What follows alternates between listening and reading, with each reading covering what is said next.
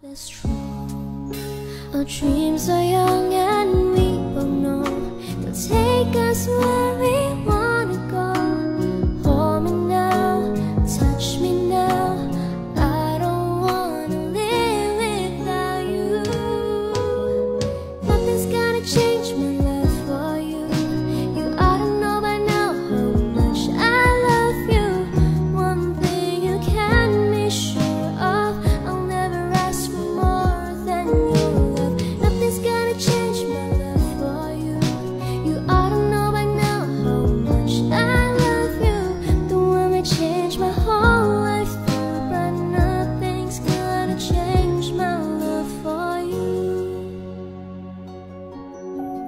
if the